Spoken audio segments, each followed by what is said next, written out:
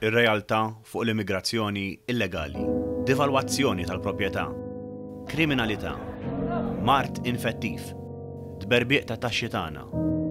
Kif se jkun futur uliedek? Il-partit jew pajjiżek jiġi l-ewwel? Għalhekk, jekk inti kontra l-immigrazzjoni illegali, agħżel Imperium Europa. Viva Malta, viva ġensna!